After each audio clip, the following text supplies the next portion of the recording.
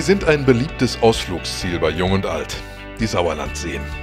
Mithilfe der Regionale 2013 erhalten Henne, Sorpe und Möhnesee jetzt eine Frischzellenkur. Der Besuch der Talsperren soll in den kommenden Jahren attraktiver werden, für Anwohner ebenso wie für Gäste. Am Hennesee entstehen beispielsweise eine Himmelstreppe, die Besucher zur Dammkrone führt, und ein Erlebnisweg Hennestieg. Für den Möhnesee sind unter anderem ein Seepark sowie die Neugestaltung der Ortsmitte in Körbecke vorgesehen. Am Vorbecken des Sorpesees bei Ameke entstehen eine neue Uferpromenade sowie ein Gesundheits- und ein neuer Radweg.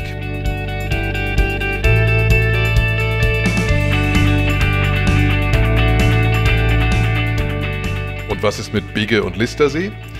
Die haben ihr eigenes Projekt erhalten, das Naturerlebnisgebiet Bigge-Listersee. Beide Seen sollen aus ihrem Dornröschenschlaf erwachen und zu einem attraktiven Erholungs- und Freizeitort werden. Seit mehreren Jahren arbeiten die Kommunen Olpe, Drolshagen, Attendorn und Meinerzhagen sowie der Kreis Olpe und der Märkische Kreis für dieses Ziel zusammen. Zusätzliche Wander- und Fahrradstrecken mit Aussichtspunkten, eine bessere Anbindung an die Bahnlinie Biggesee Express, attraktivere Bade- und Aufenthaltsmöglichkeiten am Wasser. Dies sind nur einige der geplanten Maßnahmen.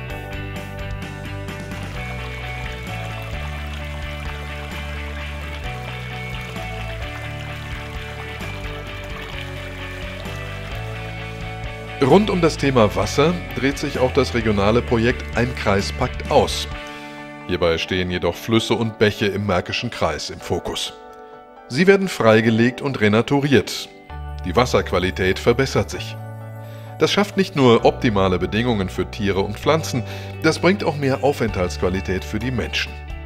Lebendige Gewässer anstatt Betonkanälen also, bei allen Planungen und Maßnahmen hat der Märkische Kreis besonderen Wert darauf gelegt, dass Bürgerinnen und Bürger, Vereine, Grundstückseigentümer und ansässige Unternehmen intensiv in das Projekt einbezogen werden.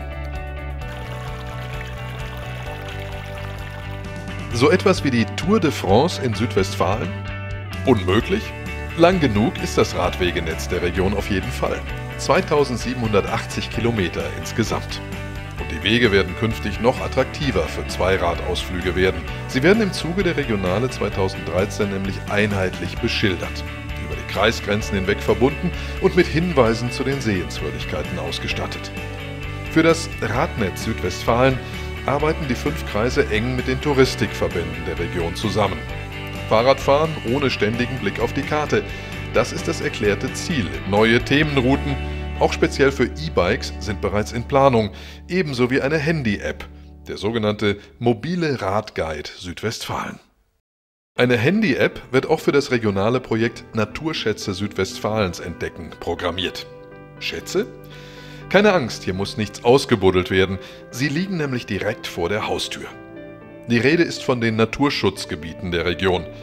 50 von ihnen sollen mit Hilfe eines multimedialen Führers in und außerhalb der Region bekannter werden. Neben der Handy-App sind hierfür ein Buch, Videos sowie eine Internetseite geplant. Natur entdecken, ohne die Natur zu beeinträchtigen. Das ist das zentrale Anliegen des Projekts, das die Biologische Station Soest der Arbeitsgemeinschaft Biologischer Umweltschutz kurz ABU entwickelt hat.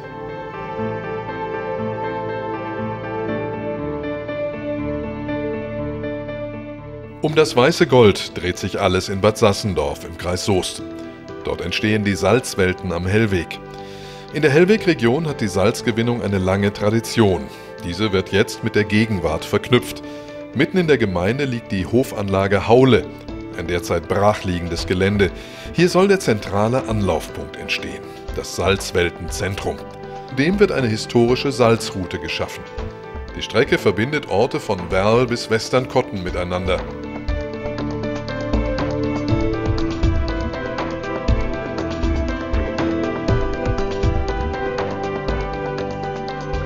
Südwestfalen macht gesund.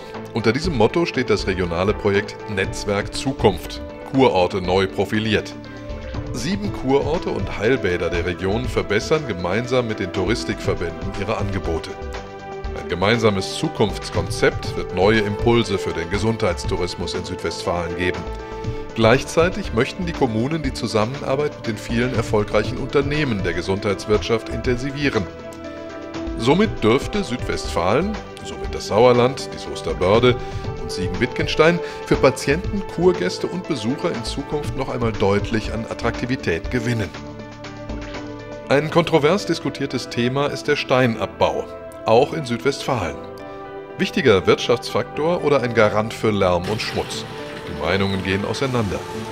Mit dem regionale Projekt Steine und Meer gehen nun die Kommunen Warstein, Anröchte und Geseke neue Wege. Die Kommunikation zwischen den unterschiedlichen Interessengruppen steht im Vordergrund. In sogenannten Laboren der Zukunftsfragen erarbeiten Experten, Unternehmen, Naturschützer und natürlich die Bürgerinnen und Bürger gemeinsam Lösungsmöglichkeiten für ein besseres Miteinander. Auch die Nachnutzung von alten Steinbrüchen ist ein wichtiges Thema. Zudem entsteht eine Themenradroute Steine und Meer, die die drei Kommunen im Kreis Soest verbindet. Kein Handyklingeln, kein Alltags- oder Berufsstress, einfach Ruhe. Den Wunsch nach Entschleunigung und Erholung haben immer mehr Menschen. Genau hier setzt das Projekt Wege zum Leben in Südwestfalen an und schafft neue Angebote.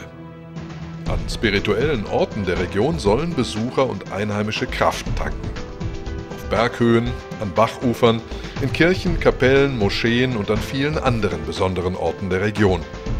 Ein gutes Beispiel ist die Kreuzbergkapelle in Schmallenberg-Wormbach, an der im vergangenen Jahr die sogenannte Himmelsleiter angebracht wurde. Die Wege zum Leben werden interkulturelle Angebote für alle Konfessionen schaffen, auch für Menschen, die nicht religiös gebunden sind.